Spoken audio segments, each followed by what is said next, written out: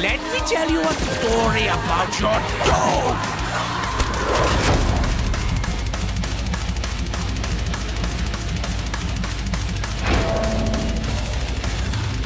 You have all been fooled, just like Peter.